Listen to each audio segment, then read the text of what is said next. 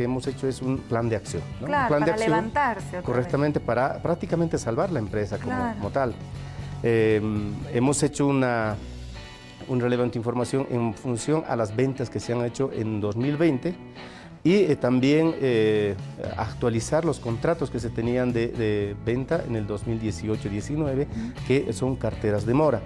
Eh, hemos creado algunas actividades más que son eh, importantes para poder dar el flujo financiero a la empresa y lo cual está rindiendo muy, muy bien. Hemos arrancado con una, una actividad que es la distribución de productos frescos entre frutas, tubérculos y verduras al subsidio. ¿no? Nos estamos entregando que tiene un ¿Variedad? eh, una, una variedad de productos que la mamá eh, obviamente adquiere a través de, de este paquete horizontal que le llaman subsidio.